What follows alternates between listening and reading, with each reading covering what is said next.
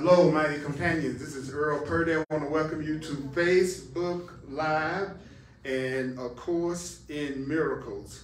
Uh, a miracle, according to the Course in Miracles, is a right perception, a correct perception, a loving perception. So it's basically saying if we have a right perception, a totally loving perception, it's a miracle. so, so that hence it's called A Course in Miracles. So I want to welcome everybody and. Uh, we're going to start out with our theme song before we get into the message today, which is the voice of your higher self, the voice of your higher power, the voice of your creator is communicating to you all through the day. And what we're going to hear today is how to hear that communication, how to get in touch with that communication, the communication of God, which is the communication of your true self. So that's what we're going to do today. We're going to, how do I get in, I hear about this divine voice. I hear about there's this, power, this possibility that there's a higher power that, that is in me, through me, around me. And there's this voice that is loving and it, there's a voice that is true and it is guiding me and it is trying to tell me what to do that would bring me only joy. But uh, why don't I hear it? And if I'm hearing it, how can I recognize it? Right? Uh, okay, I'm, I'm, i want to also know how I can tell when I'm listening to the right voice, when I'm listening to the one that's the best one for me to listen to. That seems like a worthwhile goal to me. So that's what I want to hear today because I always teach what I need to learn because then it leaves one person to be awake. that's right. But sometimes I'm gone too, uh, you know. Uh, because there's a part of me that doesn't want to hear this and there's a part of me that does. You know what I'm saying?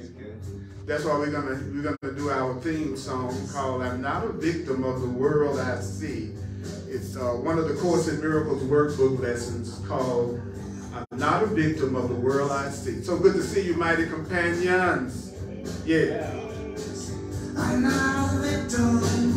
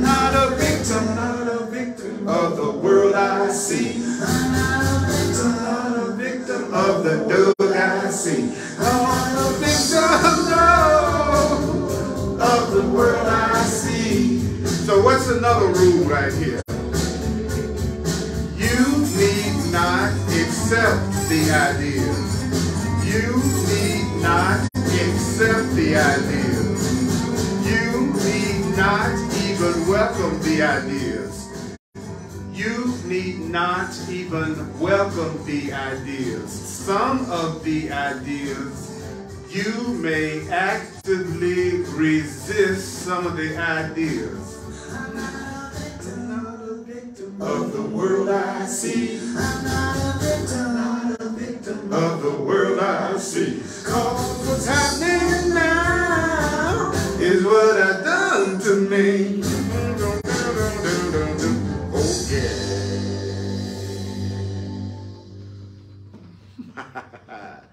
Right, that's brother. That's brother John Christmas, and you and you can get that music.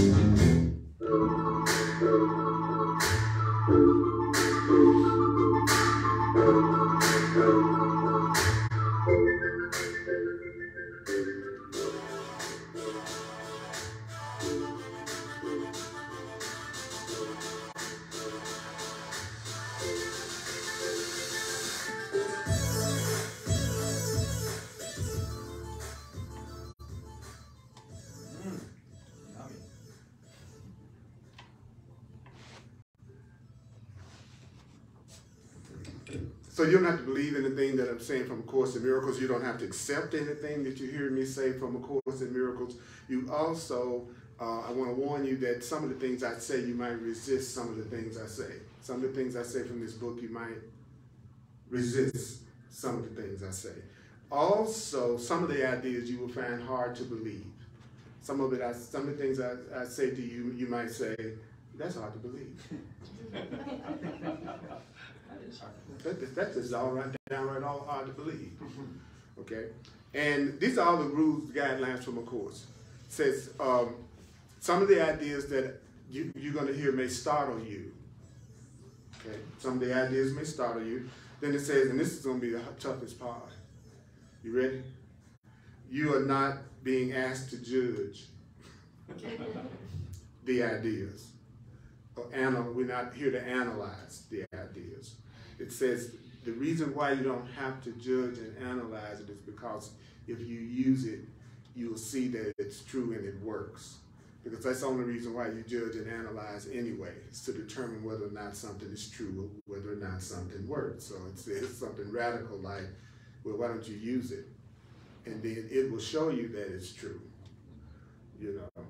And I like that. So, and then it, the Course says, no matter what your reactions to the ideas may be, then just use them. Okay?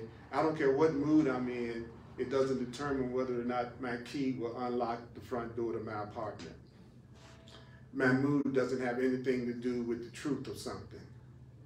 So what's true is true whether we believe it or not. And it's true whether whether or not we're in the right mood to hear it or not. Okay? That's that's that's just common sense stuff. But I used to think that somehow or another something wasn't true unless I said it was. And something wasn't true unless I believed it. And so if it fit into my frame of reference, then it was true. If it didn't fit into my frame of reference, then it was false. But do you know I didn't realize what I was doing was saying I was the arbiter of what's true and real. That's really kind of, it's really funny when you think about it. You know, I'm the one that determines the truth of everything. And if it doesn't fit into my perception of things, it couldn't possibly be accurate. Okay. So the course, I love that. The course says, uh, don't allow. It, it, I love it. It says, I love it. It says, some of it you might resist. None of this will matter. it's a, it's a, and none of this is going to decrease its effectiveness. Uh, but don't allow yourself to make exceptions. So one thing I'm asking you to do is apply this to everything and everybody. Okay, so uh, we're going to be on lesson 49 in the Course in Miracles workbook. And the, the, that lesson is God's voice speaks to me all through the day. Which is, if, and so you could say, the Course says God is another word for love, is another word for truth, is another word for all that is, another word for the universe, another word for that which created us. So I love the word love in truth. Um, so it's possible for you to listen to the voice that is guiding you, the course says all through the day, okay? And it's possible to listen to your guidance. See, the premise of the course is that each and every one of us have an inner divine voice and a divinity and a spirit within us that is constantly guiding us all the time so that we can have the kind of perfect peace and joy and happiness that we want from within. But we have lost the ability to hear it and communicate with it. So, so the premise that it says is that I'm the divine repetition teacher. Um, I'm the remembering coach. That's what I call myself. Is I want to remember what I'm being told to do to have what I want. Don't you think that's a worthwhile goal? I want to remember what I'm being told to have what I want. If I told the average person that I had a million dollar check that it was under that chair in that other room, and if they just went in there and got it, they could have a million dollars. How much do you think they would be paying attention to what I was saying about where the check was located? Right? If they if they would be riveted on my every word if they really wanted to get that million dollar check. That's my approach with the truth. It's like the only time a person doesn't pay any attention to something that's trying to give them what they want is basically because they don't believe that this is going to get it, give it to them. You never have to have a problem with a person's attention if they think what you're about to tell them is going to get them what they want. So the course is saying to me, um, there's a way for you to listen to your guidance all day long and not create a lot of drama on yourself without interrupting your regular activities in any way. So you can still be doing all the regular stuff you do all day and still be hearing some sanity that's trying to guide you through the day. Do you know that it also says that you can tell the part of your mind that has the truth in it? But like, well, how do I tell that when I'm dealing with the part of my mind that has the truth in it? Well, the part of your mind that has the truth in it is in constant communication with God, which is the same as saying the part of you that has truth is in constant communication with love. And it's in constant communication with that which created it. So your real self is in com constant communication with that which created you. Your true self is not asking the question, is there a creator? Did I create myself? is there a God? That your true self does not have any of those issues because it's in constant communication with spirit and that which created it. Mm-hmm. Okay, you with me? Mm-hmm. Okay, so it's possible that you could be listening to the part of you that'll keep you from getting in a lot of crappy situations and it's trying to talk to you all day long and it can do it even when you are driving and texting. I just did that. It can you washing dishes, walking down the street, in your relationship. There's a part of you that as soon as you saw them, that voice said, No. don't, don't do that. You know, right? So, and I love when it says, of course, it's whether whether you are aware of it or not. You know, um, so it's the other part of your mind. Do you know that then, okay, if there's a part of me that's listening to the sanity and the love and the peace and the calm and joy, because I, I, was I was talking about this this morning. I wanted to really go through this fully today because I have more time. Uh, but he says, the course says, but it's the other part of you that functions in the world. And it's the other part of your mind that obeys the laws of the world, which, which the course calls the laws of fear, the rules of fear, the rules of separation. And it says, you can tell when you're listening to the part of your voice that's obeying what you were programmed at from the time you were born from the world, because that's the part of you that's constantly, constantly distracted, disorganized, and highly uncertain. Not regular uncertain, but oh, highly uncertain, okay? So, so that means in the room, all of us according to this, we have two parts to our mind. Let's, let's pretend we have two parts to our mind. One part of my mind is in constant communication with sanity and love. The other part of my mind is believing all the crazy stuff that the world has told me since I was born. And that's the part of me that's going, what the hell is going on? I'm distracted, I'm disorganized. It's the part of my mind that obeys the laws of separation, fear, division, uh, uh, that's the guilt, anger, that I'm a body that's just that. I'm not an eternal spiritual being expressing myself through a physical body. I am the physical body that's going to die one day, is what the world teaches me. And that sounds pretty cold blooded. And then God, on the other hand, is telling me, you know, I love you, I love you, I love you, I love you, I love you. You know, that this part of me says, I, I would not create you to kill you. I would not create you for you to die. I actually want you to, to know that you are an extension of me and you will live forever. But you are not aware of it because you're listening to the part of your mind that's obeying the world's laws and that functions in the world, the part of you with the social security number, the part of you with the social security number, that's the one you're listening to all the time. And you know that joke is mm-hmm. distracted, disorganized, and highly uncertain. Or, just, or in Colorado, just plain high. I have been highly uncertain. I've been highly uncertain. Hope so. high. And don't forget to laugh. That's how we got here in the first place. We forgot to laugh. Mm-hmm. Forgot to laugh. When the book, when the Course of Miracles told me that, I thought that was hilarious. So it's a joke you forgot to laugh at. It's a joke that you could be separate from love, separate from life, separate from goodness, separate from peace, separate from freedom.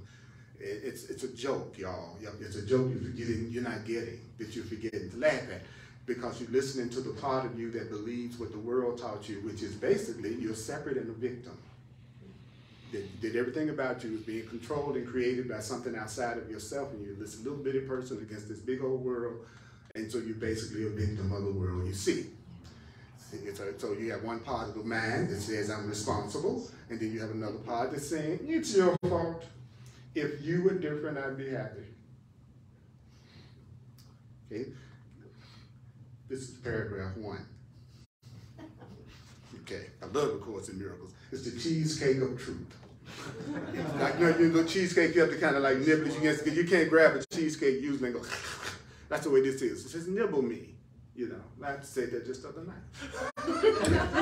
now,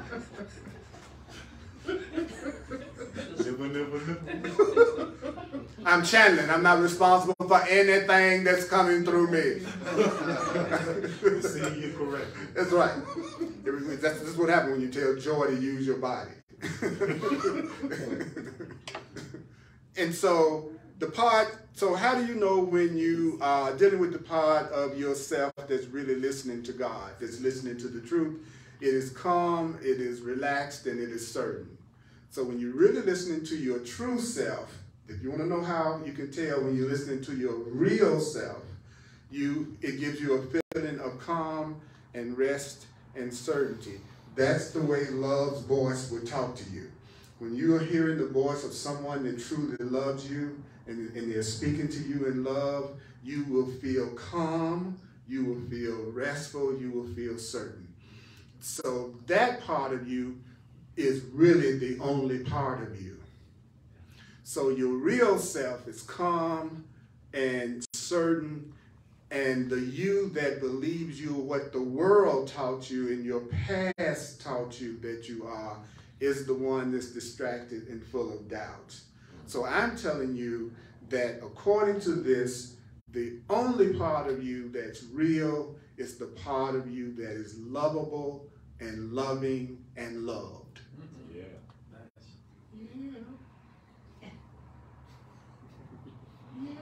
Anybody want some cheesecake? It's like it's, it's, this, this, this, reminds me. It, it, it was tempting me to do reverse trash talking. reverse trash talking is a trip.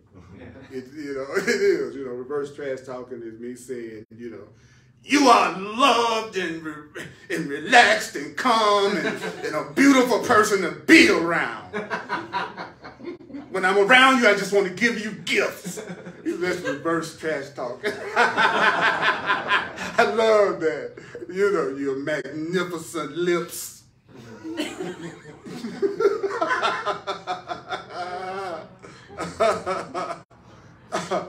now, the part of you that is calm and at rest, and the part of you that's certain, it's the only part of you that's real, whether you know it or not.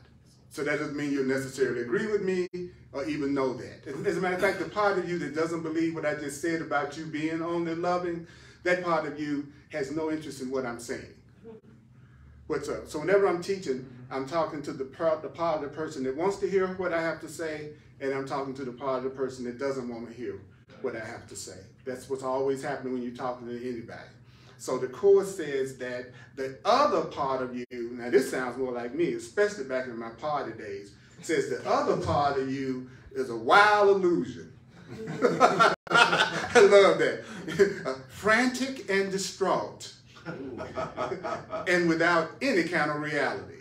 So the part of you that's not you, the part of you that you make up about you or your childhood made up or your past experience made up or your environment made up or your society made up, you can tell when you're paying attention to that part of your mind because you feel wild, frantic, and distraught about something. So whatever area of your life that you're feeling distraught in, that's the area of your life that you're listening to the wrong, untrue part of yourself. Don't follow its advice. So I love how the Course gives very powerful instructions about how to deal with this voice that's, that causes frantic feelings and this. So, uh, well, how do you deal with it? He said, well, try not to listen to it. I'm waiting for some deep. Try not to listen to it, Purdy. the voice that makes you feel afraid and frantic and angry and upset and like your life isn't going to work nothing goes right for you and you're going to be lonely and alone and you know you're just never going to get rid of this issue with your breath.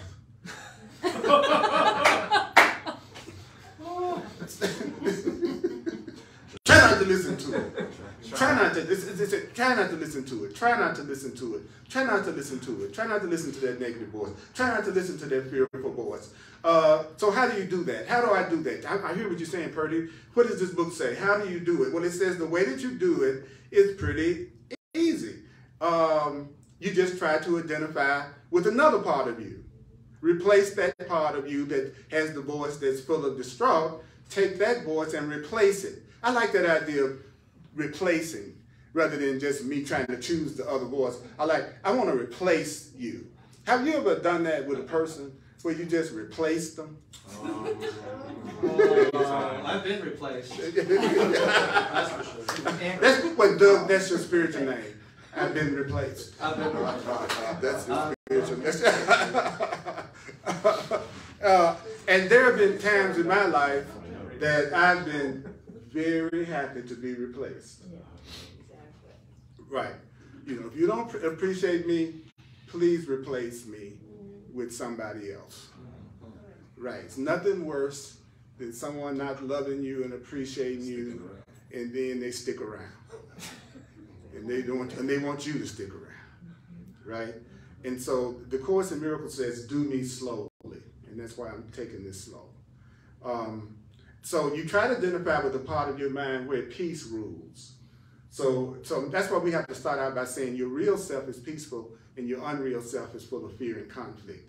Why? Because we're going to replace the thought that your real self is the peaceful one. We're going to use that thought about you rather than the thought that the you that's in fear and conflict is the real you. The you that's afraid of people is the real you. The you that's suspicious of others is the real you. We want to get rid of, we want to replace that idea of ourselves with the idea of myself that my real self is calm and without doubt, and peace is ruling it, and not just ruling it today. Peace is ruling it forever, permanently. Okay, so now we know that's not the thought that usually we have about ourselves, especially if you find yourself upset about something a lot. So what do you do? People go, well, okay, well, how do I really make that real? It's the same way you made the believing about yourself that you are not really uh, powerful real through repetition. You just told yourself that you were told that from the time you were a child until you really believed that you could not be loved or that something was wrong with you. You, you don't realize all of your beliefs are just ideas that you accepted as true because they were repeated to you so much that you repeated it to yourself and then that became your belief system. But the problem with that is that then your perception validates your beliefs and so that's what you started to see witness back to you from your world so that even if someone was loving you and appreciating you, you didn't notice it or you didn't appreciate it or you got rid of them as fast as you could. you know. I used to end up in the friend zone so much I just built me a house there, you know, just live there. that was the reward you got for being a nice guy. You could pretty much count on it. You was headed straight to the friend zone. Uh-huh. But the, the CAD was getting all the good loving.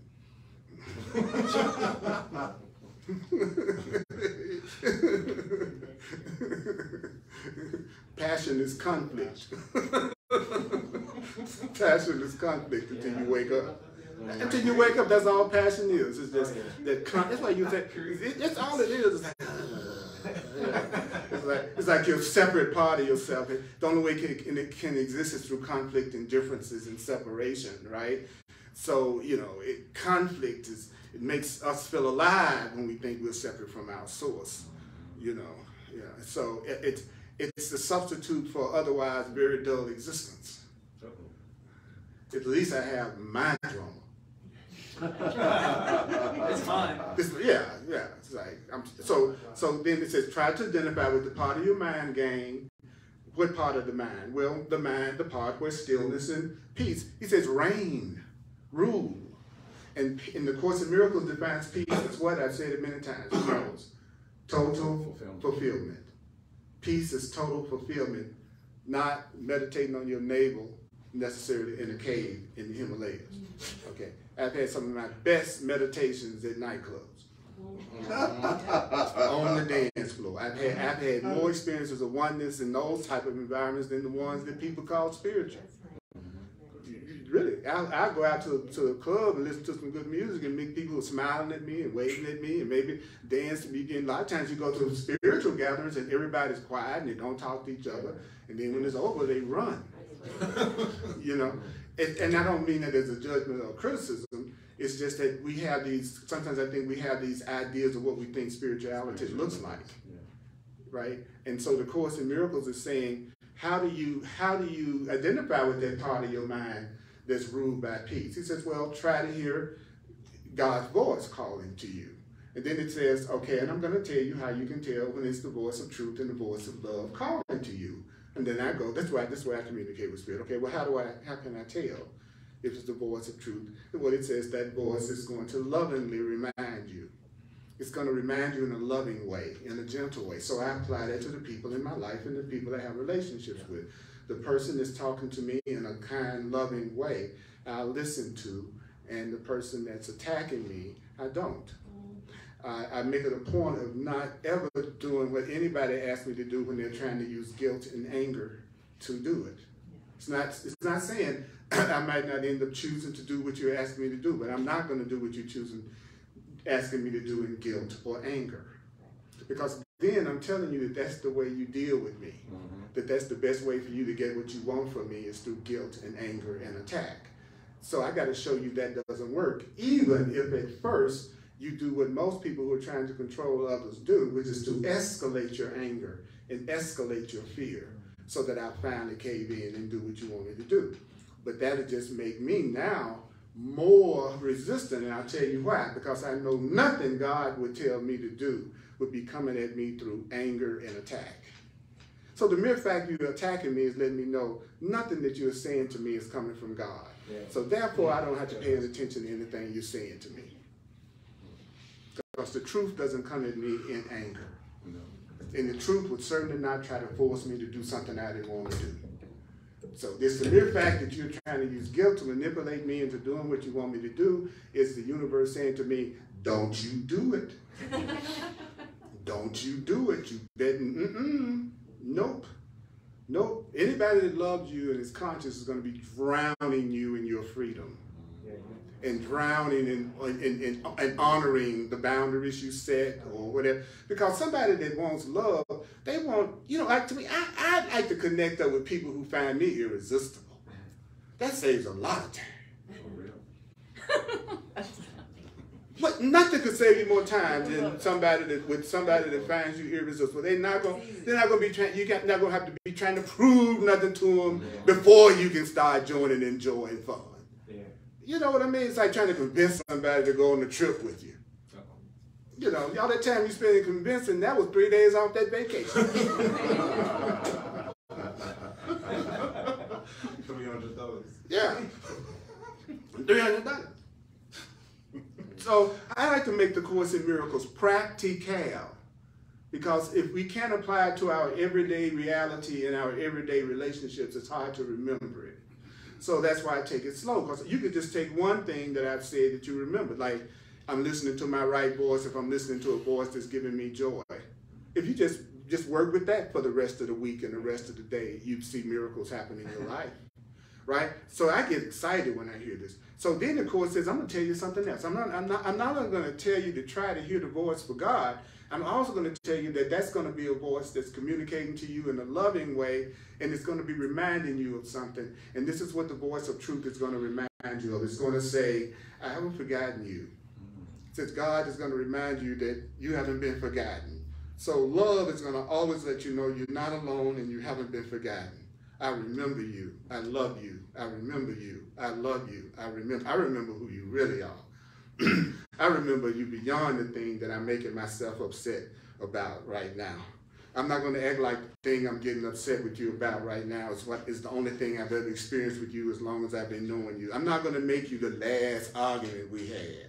And then I'll overlook how many times you sit by my bedside when I was sick. But all I remember now is I'm really mad at you because you come home late for dinner every night. You know, so so it's like so it's like the Course in Miracles saying, I'm going to teach you how somebody that's going to treat you and how they're going to love you and how they're going to speak to you and what they're going to want to do with you if they really love you. So that you'll stop fooling yourself and getting involved with something that you wish you had never gotten involved in because you didn't use vision in the very beginning. And then I said, well, Holy Spirit, what is vision? Vision is knowing the consequences of your action before you take them. It's you being able to see how it's going to turn out before you even make one move. And that's way I do most of the time now with everybody. I just I go through the whole relationship in two seconds. you know, if they don't know I'm one with them and they don't know the truth and they don't want to be loving and they don't want peace and they join and connect and they don't want to take any responsibility for themselves and they want to blame me for everything, then I know that I don't care what that body looks like, I ain't interested. Because I've never met a being in a human form without a body. It's like the body kind of comes with the deal. So I don't have to like, I don't have to, and, and basically all women, female bodies have the same body body uh, types and things on it, and male bodies the same. They're just different shapes and sizes, but it's basically the same thing. Mm-hmm. That, that's the way I see it. Uh, uh basically, the, the female and male bodies I'm scared to say female and male bodies now because there's so many different ways you're supposed to say something, but y'all know what I'm talking about. I can't keep up with all of it, y'all. So it's nothing personal about I'm saying pronoun right or something. Okay. you know, that's a lot on my mind right now. I'm trying to remember this, you know? I'm trying to remember this. So then that tells me if God would remind me that I haven't been forgotten, if love would remind me that I haven't been forgotten, then now it's just told me how my friends and people who care about me, they're going to remind me that I haven't forgotten you. You're valuable. I haven't forgotten you. Love, love never forgets me. Okay, that's okay. That's cool. Now that was the second paragraph. Okay, that was the second paragraph. So what do we do now to take this into the, a, a more realm of practicality? Well, the, the, it says we're going to actually, um, the course asks for a ridiculous amount of practice time with its exercises, okay? Uh, okay, here's the, I know you don't have time, I know you're busy, but this is what it says in the lesson. We need at least four, five minutes in the whole 24 hours. Four, five minute period. And I'm like, this is ridiculous to be asking for me to do too much for my unlimited joy and happiness. That's way too much. That's way too much. I'd rather spend that much time complaining. I don't have, I, I, never get tired of complaining, but then I tell myself I'm tired of the truth. Mm-hmm. I'm, t- I'm tired of hearing this truth stuff. So we're going to try to hear the same voice.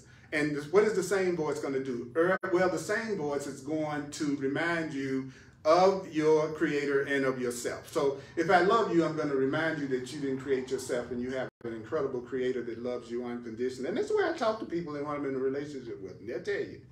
Okay? Or I'm also going to remind you of your real self, and your real self is the part of you that's perfectly calm and peaceful. It wants to be ruled by peace and only listen to the voice of sanity and love. That's you. Anything else coming out of you, I'm going to say that's not you. Okay? So we're going to approach what the Course calls a holy thought. Okay, so what is a holy thought? A holy thought is a happy thought. It's a happy thought. So how can you tell when you're hearing thoughts that are coming from your higher self? You'll have a happy, they'll be happy thoughts. Uh, and why are you happy, by the way? Well, you're happy because you know in allowing yourself to hear the voice that loves you, you're now joining your will with the will of God. When you want to be happy, and now you're finally joining the will of God because the Course teaches the will of your Creator is that you have complete happiness. The will of your Creator is that you be completely loved. See, the Course draws the line. It says either it's a God of love or a God of fear. And you need to make up your mind which side of the God fence you're to be on. right? Either, either, you have to either accept it as a creator that loves or a creator that hates, but you got to stop mixing them together because that's making God too much like us. That sounds like, whenever people talk about God, it sounds like to me they're talking about a dysfunctional human being. The way the average person's description of God. God is jealous and God kills you if you don't act right.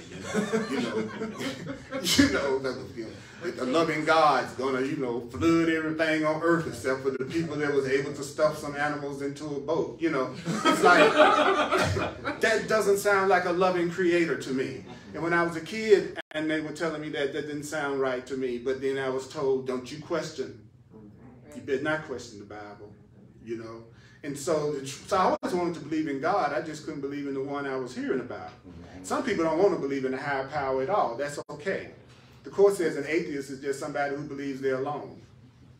Say anybody that thinks they're on their own alone is an atheist. And I went, that's a different definition. I hadn't quite looked at atheism that way, but that makes perfect sense. If I think there's just me, then I don't believe in a, in a creator that's connected to me. So I said that makes sense. It's, then the course says, then they're, they're just what he calls uh, uh, uh, you got you got the ones that believe that that God uh, is requesting suffering that, that in order for you to be happy, you got to sacrifice and suffer. So those are the two mind, the parts of the mind of the part of the mind that's the crazy part of the mind. Mm-hmm. So the crazy part of the mind believes that the only way that you can be happy is to sacrifice your happiness. So when you fall in love with somebody that believes that love is sacrifice, what do they do? They constantly tell you what you need to do for them to make them happy even if you don't want to do it because doing what you don't want to do, that's what real love is if you sacrifice your happiness for me.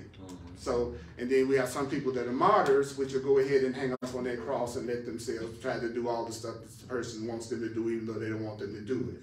I'm gonna pass this around so I can let you know when I'm in and out of town. Uh, that's my e the email list. If, if you already signed it, then of course you don't have to. Uh, okay. So, because so when I do the Course in Miracles and I teach the Course in Miracles, I'm doing it from a perspective of how can I make this practical how can I remember what it's saying because it's because of the connection between learning and memory? That it does. That if I come here and hear this and I forget all of it, then how can I use a recipe book that I don't even read? right? So if you don't get to the point with the Course in Miracles, if you say you're a Course in Miracles student, that you never read the material and try to remember it, yet you're expecting to get the kind of miracles and blessings that it promises, that's just like you buying, a, you know, getting a recipe book and then expecting the, the cake to appear on the counter without you following the recipe or even reading the recipe. Stop expecting to get stop expecting to get the results of what you're not doing. Now it is possible, according to the course, to have things done for you by spirit, but it says we haven't developed the willingness as yet because of our need to control. So therefore, we are not allowing the higher power to function to bring to us the happiness and joy that is our divine right, just because of who we are as loving spiritual beings. You know, the the the, the uh, they just sold the Broncos, right? And the and the Bowlen family owned the Broncos, right? And they they they it was the most expensive purchase in franchise history. It was four billion six hundred million dollars. Seriously? Right, and it's seven of them, six or seven of them, the children, the Bowlen children, And so they're going to divide up between just the seven of them four billion dollars after all the other stuff, right? My point is, then none of them played football. none of them did anything in the sense Physical. uh, physically other than they were born into that family. And that's what the Course in Miracles is saying to us all the time. And I watch people fight it. The, the book keeps saying, Spirit keeps saying, look, you, because of who you are, your inheritance is love and peace and abundance and joy and happiness. That's your inheritance from your Creator, just like His children are getting His inheritance. And they didn't have to earn that, and you don't have to earn a beautiful, glorious, loving, satisfying, free life. That's that's that's that's a lie. That's you not recognizing who your creator is, your father is. Who you know what I'm saying? And the course is think about what I'm saying. Think about what I'm saying. You're entitled to miracles, states of completion and abundance and happiness just because of what you are.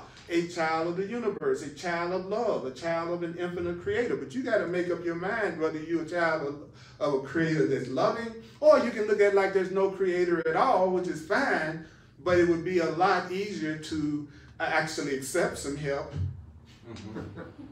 you know, you can try to do it all on your own. So the Course is saying to us that this is a happy, holy thought. So when you join your will with the will of love, when you say, oh, you want me to have love and I want to have love too, you want me to have happiness and I want to have happiness too, then that's what um, that's what he says, that's what your creator is doing. Your creator wants you to hear that voice and wants you to hear its voice. Love wants you to hear it talking to you. So that's what I'm doing, people. I'm listening for love's voice. What's the voice that's telling me I'm innocent? What's the voice that's telling me I'm free? Who's the voice that's telling me that they're one with me? Who's the voice that's telling me they want me to be happy as well as them? You know, who is it that's trying to honor my choices? And my, it's like I'm listening for the voice of love because the voice of love was given to me so that I could hear it. I'm talking to you so you can hear me. I'm talking to you so you can hear me, but I need you to listen not in regular silence, doggone it. I need you to listen in deep silence. And then that's what, then you start listening to the truth and listening to the voice, you be going, that's some deep silence. See, that's some deep silence. So what do you do? You be still. What? You be still. You be quiet. I'm American. I can't do that. I'm an American. I, am American? You are not telling an American to be still. That's the most ridiculous. Don't you know how many meaningless activities I got planned today? you know how many distractions to the path of love that I got planned today? I'm going to spend some time with the very person that makes me forget I got any goodness in me. because they're reminding me constantly of my foibles and my flaws. And those are the people around you that you allow to be around you to judge you and criticize you. Those are the people that you are using to distract you from the awareness that you are that loving self that I'm talking about, and not the self that's not worthy. Whoa. Whoa. Whoa. Whoa. Oh, wait, hold just a second. Just, just one, just one second. I almost fell asleep. One, no. So deep. the ego's like,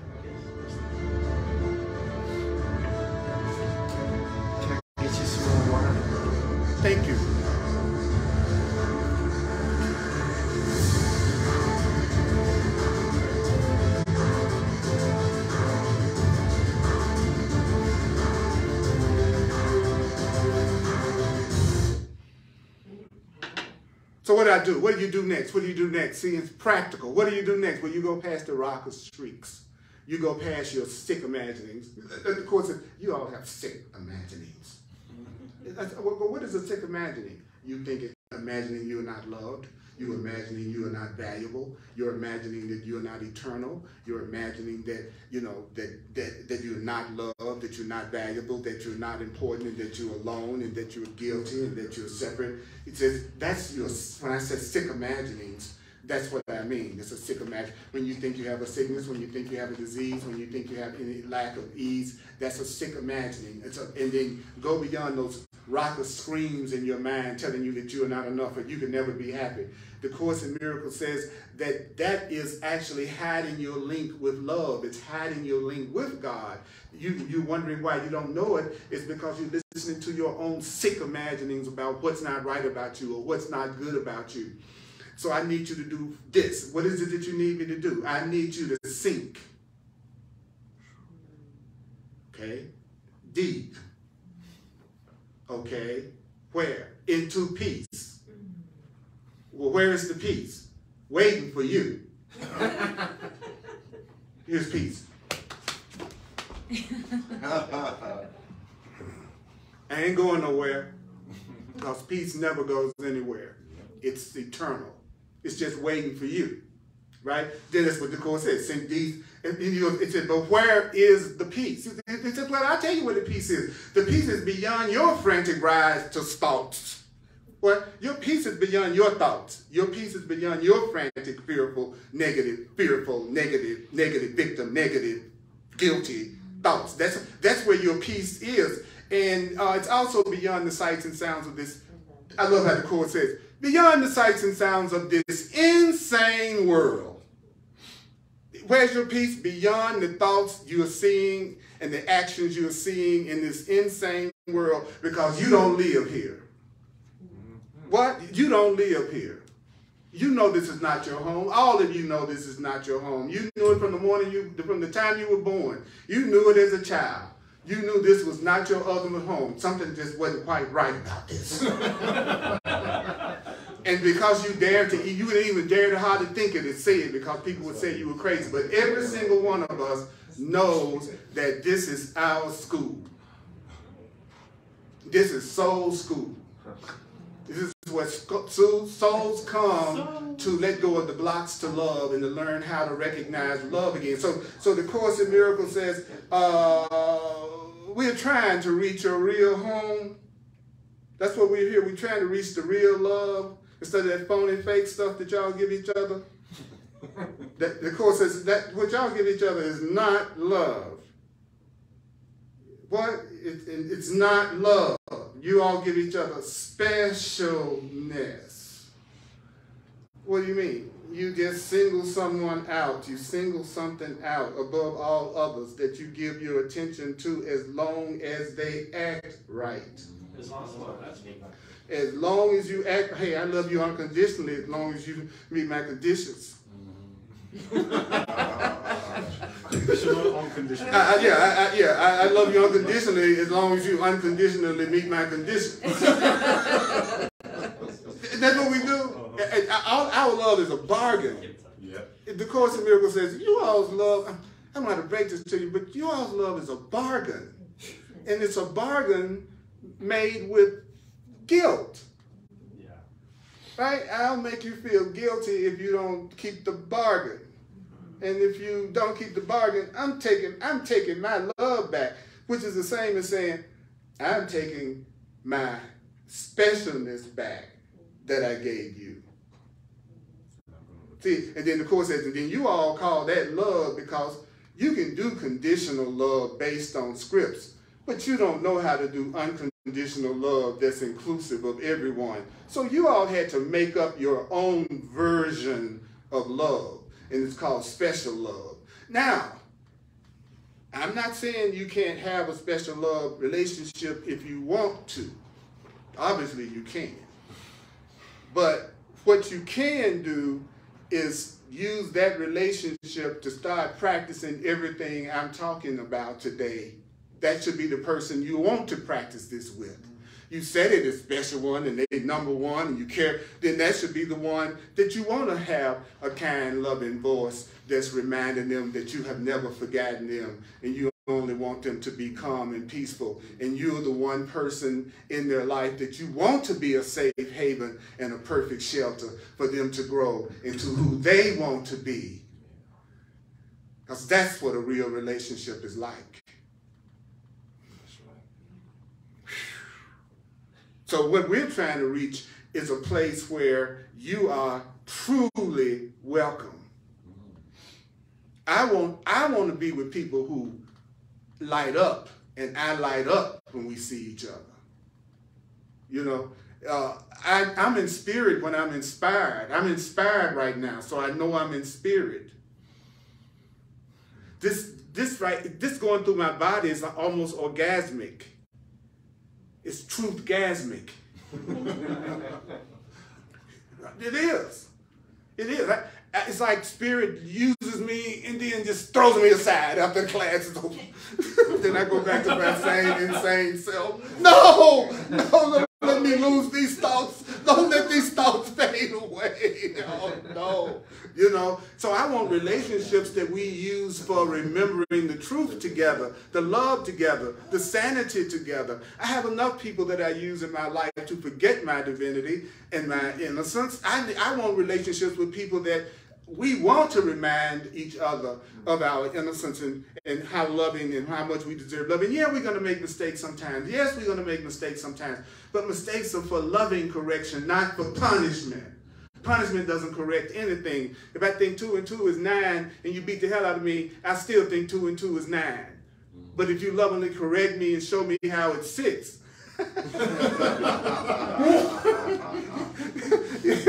if you lovingly correct me and show me how it's four, now you've made a difference in my life. It's the dumbest thing in the world that we think is that punishment is going to correct something mm-hmm. without having someone change their mind. It's insane.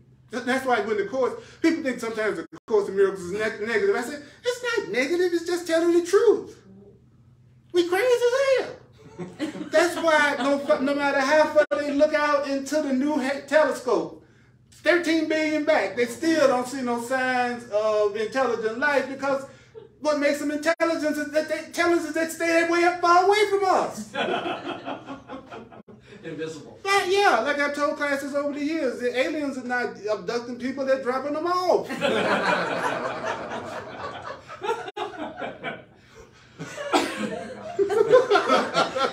yeah, you think it's an accident? This many people in the same place that's willing to destroy the environment that sustains them and mm-hmm. everybody be okay about it? Yeah. And you think you're in a world where people love themselves? The course said the world was originally a place where souls who thought they were guilty came to die. And that's why, and he said, the course says that, that originally the part of the mind that believes it's guilty created a world to live in. And, and so the man that thinks it's guilty thinks it needs to be punished in some form or in some cases even die. Oh, okay. Right. And he says that's where death came from. It came from the part of the person that believes they don't deserve to love and they don't deserve to live and they're not enough. And, so, and, then, and then, of course, there's a many people believe that they'll be better off after they die that, that it's through death that you get to happiness, or like they used to say in the Bible, to heaven. That death wasn't, who wants to go to reality at such a price that you have to die? He says, no, you don't have to die. You just need to change your mind. Mm-hmm. You just need to change your mind. So then it says, oh, wow, I'm almost to the end of this. Listen to this and watch this at least four times. The number four is the number of foundation in numerology. You want to have four, solid foundation.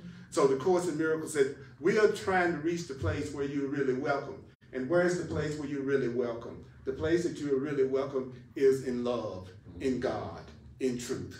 So we're trying to reach God, which means we're trying to reach love, which means we're trying to reach freedom, which means we're trying to reach unity, which means we're trying to reach safety, which means we're trying to reach all that is in our connection and our oneness. So how do I do this? How do I do these profoundly simple things that you've been telling me? My mind is oriented toward complexity. I don't know how to do simple things. Okay, I'm going to tell you what you do. This is what you do. I need you to tell me I got to go to 10,000 levels and dimensions.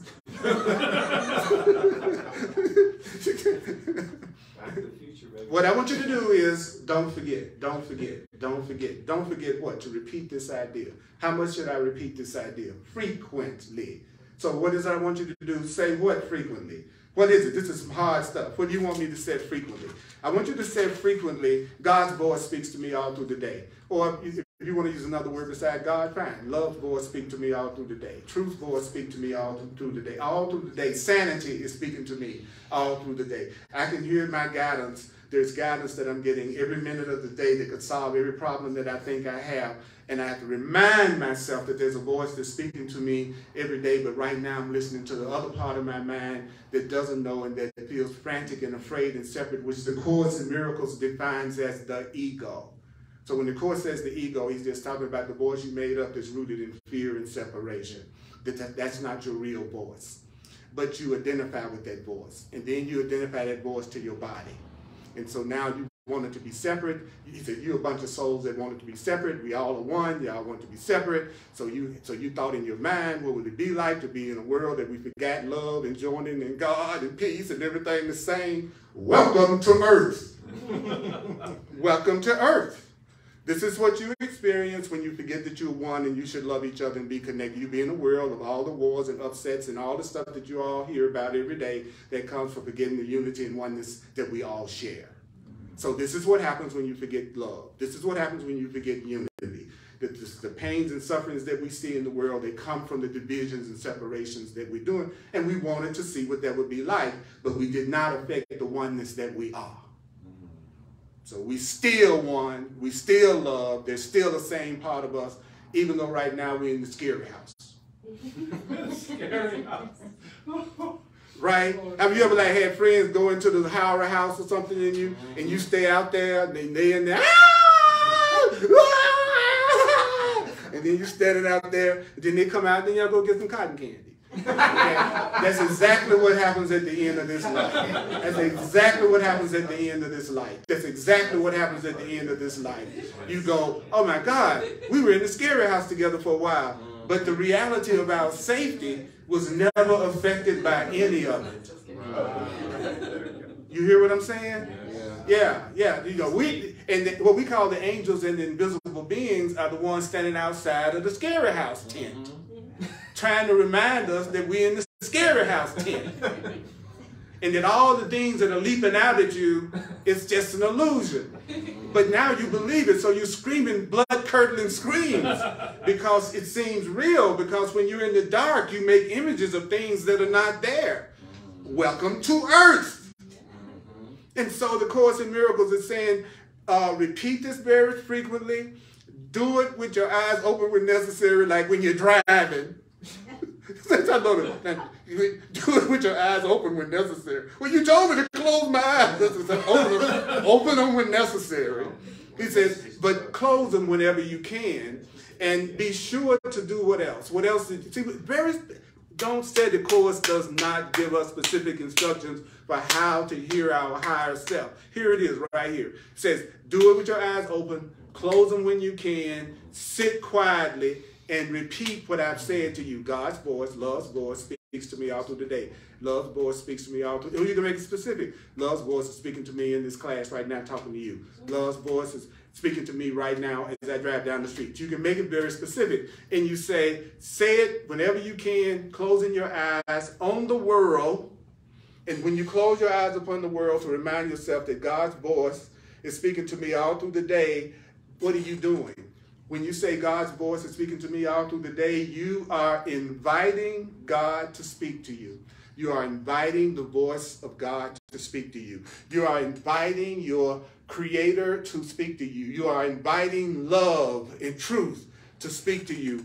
Every time you close your eyes and say, God's voice is speaking to me right now. God's voice is speaking to me all through the day. All right, I'll stop here and do a little quick recap in a minute. Whoa, whoa, thank you, thank you, thank you for acknowledging yourself. That's awesome, that's awesome. All that you give is given to yourself. All that you give is given to yourself. If we believe anything about this oneness stuff that we claim we do, then your acknowledging me was you acknowledging you. That's how I can always tell whether anybody's hearing anything the truth is saying. Because if you're hearing anything about the oneness that truth is saying, then you're going to automatically treat each other differently. If I don't see a change in behavior, I haven't seen a change in mind. That's just the truth. You know, I, yeah, it's like if I think you're one with me, then I'm going to look out for you like I'm looking out for me, and I'm going to want you to be as safe as I am, and I want to treat you the way I'd like to be treated because you are me.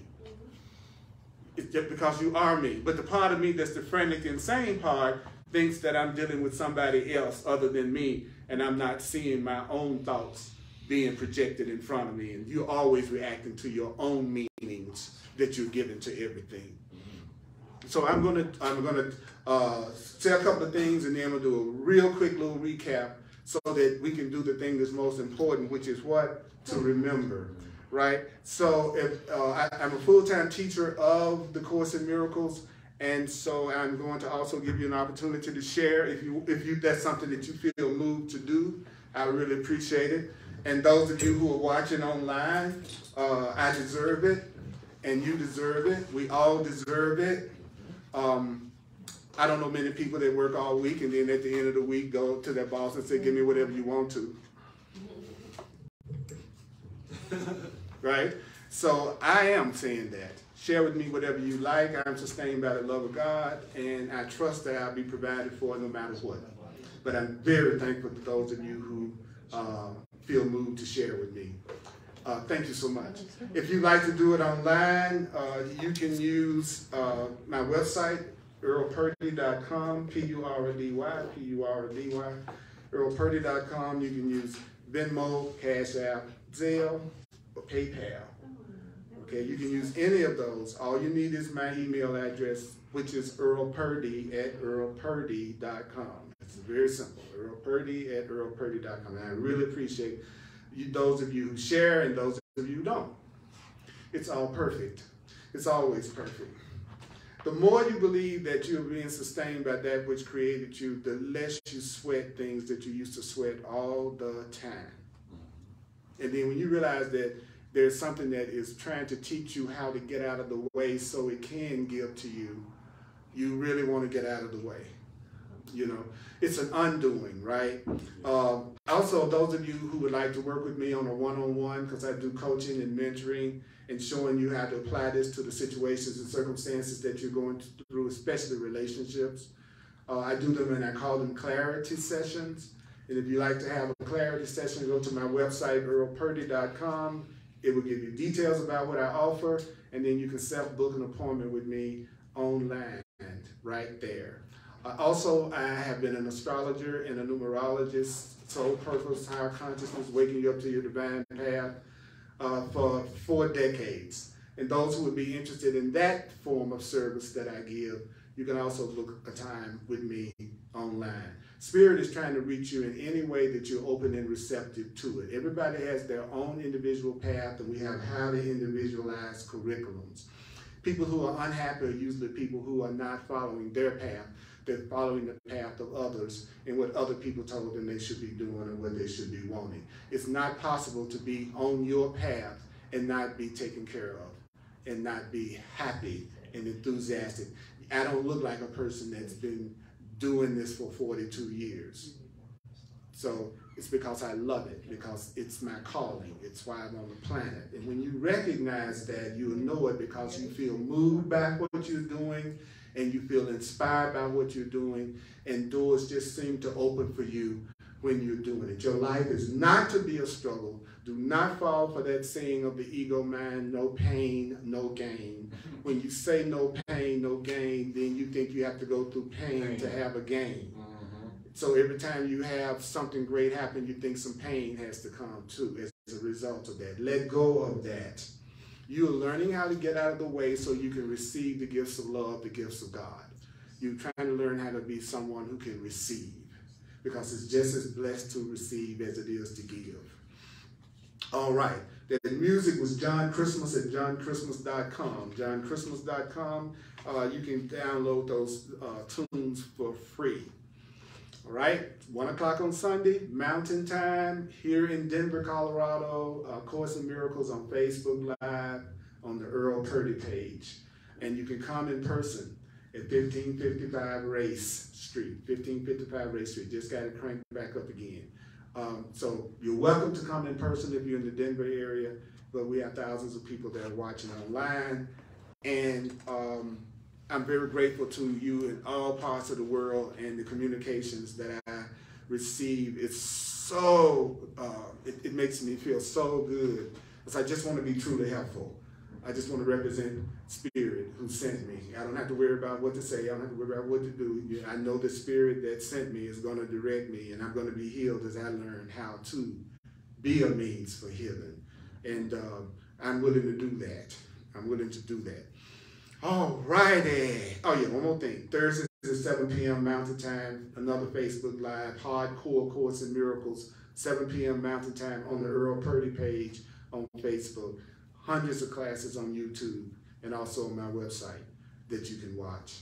I'm here. The Course in Miracles says just like we heard a lot of crazy stuff that makes us feel separate from each other, we've got to share the beliefs that remind us that we're one with each other. Mm.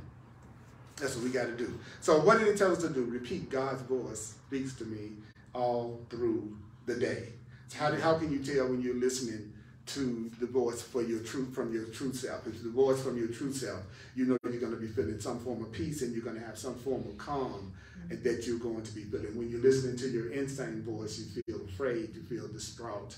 So how do you get past that? I have to remind myself that I am I have a voice that is guiding me about every situation that I'm going through right now. And my spiritual work is to get rid of all the thoughts and the blocks that are keeping me from hearing that voice and to remember it's not something that I can do alone and that I have a teacher, that I have a guide. You have a teacher, you have a guide. Resign now as your own teacher. Resign now as your own teacher. Resign now as your own teacher. Most people are trying to tell their self, their self what to do instead of letting their self tell them what to do.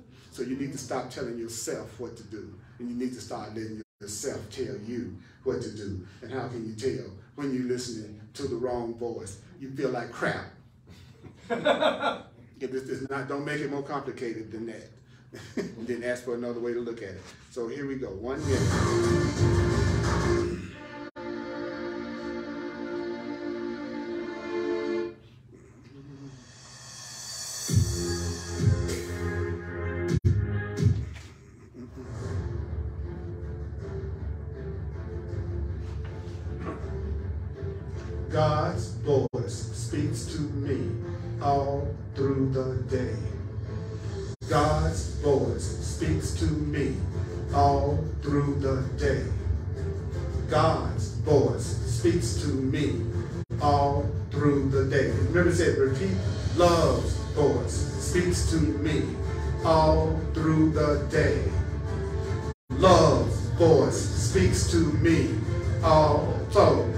how do you change your mind? You change your mind through repetition, change your mind through repetition, change your mind through repetition, repetition, repetition. You are living the life you repeat to yourself. You are living the life you are repeating to yourself. You are feeling the feelings you are repeating to yourself. You're feeling the feelings you are repeating to yourself.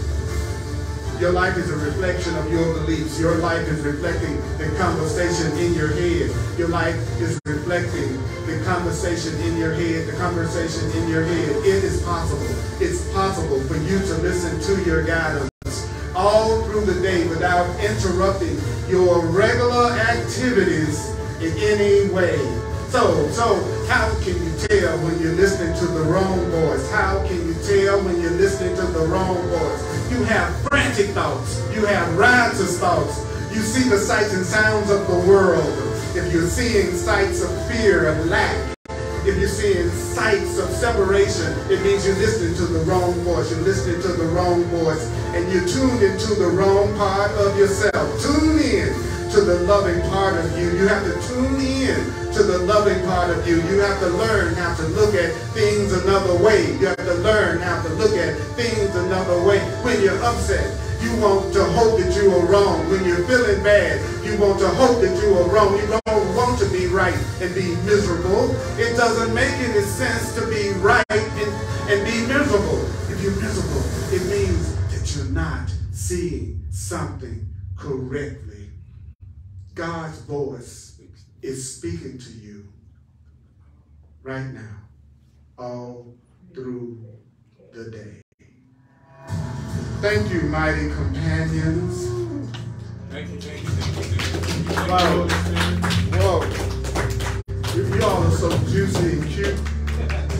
I know you're not your bodies, but I'm glad that you're easy on my eyes. And we want to say to each and every one of you what? watch this at least four times, Mighty Companion. And may the course be with you. Hugs are available. I appreciate y'all. Thank you so thank you so much.